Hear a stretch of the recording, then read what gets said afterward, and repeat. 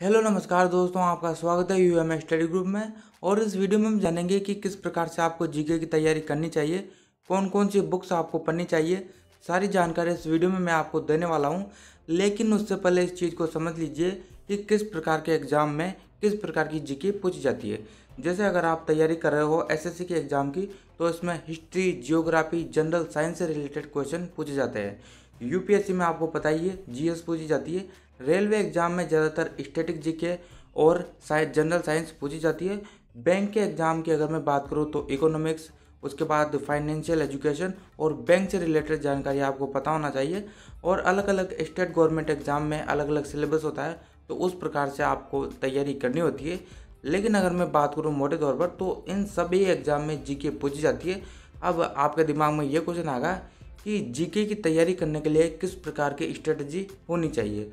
तो सबसे पहले तो मैं आपको बता दूँ, अगर आप शुरुआत कर रहे हो तो आपको सबसे पहले डेली करंट अफेयर्स ज़रूर देखना चाहिए।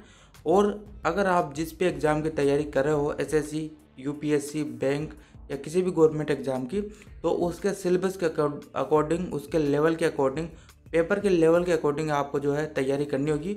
और अगर मैं आपको बता दूँ, जैसे भी आप तैयारी करोगे तो उस तैयारी के आपको प्रॉपर नोट्स बनाने हैं। नोट्स अगर आप खुद बनाओगे तो आप ज़्यादा बेहतर तरीके से याद कर पाओगे और आपको पता ही है कि मॉक टेस्ट डेली सोल्व करना है। मॉक टेस्ट बहुत ज़रूरी है ताकि आप सही तरीके से एग्ज़ाम को अटैम्प्ट कर पाओगे। अब आपके दिमाग में आ गया कि कौन कौन सी बुक्स पढ़नी चाहिए। तो मैं आपको बता दूँ, जो बोर्ड से बोर्ड सी बुक है, जैसे N C R T C B S E और आर बी एस सी की बुक्स जो बोर्ड्स की बुक है, वही मेरे हिसाब से आपको पढ़नी चाहिए। क्योंकि ये जो बुक है, ये ऑथेंटिक होती है और सारे प्रश्न इन्हीं में से पूछे जाते हैं। अब आपके दिमाग में आएगा कि क्या इनसे काम चल जाएगा।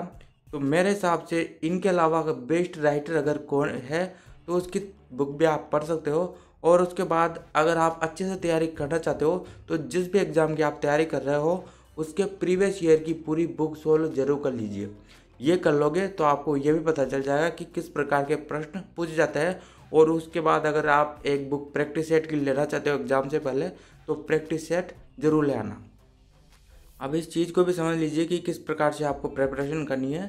देखो जीके की प्रेपरेशन के लिए आपको सबसे पहले टाइम टेबल बहुत ही ज़रूरी है। डेली अपने हिसाब से टाइम टेबल बनाइए क्लासेस देखिए नोट्स बनाइए टेस्ट दीजिए और उसके बाद आपको चाहिए रेगुलरिटी और कंसिस्टेंसी ये बहुत ही ज़रूरी है। अगर आप किसी भी गवर्नमेंट एग्ज़ाम की तैयारी कर रहे हो तो कंसिस्टेंसी रखिए और रेगुलरिटी रहिए। जो भी आप जिस प्रकार से भी तैयारी करोगे, उस पर बिल्कुल स्ट्रिक्ट आपको रहना है। मैं उम्मीद करूँगा आपको सारी जानकारी इस वीडियो में मिल गई होगी। इस वीडियो में इतना ही। इस वीडियो को लाइक और चैनल को सब्सक्राइब ज़रूर कर देना। और अगर कोई डाउट है तो नीचे कमेंट कर देना। मैं आपका रिप्लाई कर दूँगा। फिर भी अगर कोई डाउट रहता है तो इस, वीडियो को लाइक और चैनल को सब्सक्राइब कर देना। जय हिंद।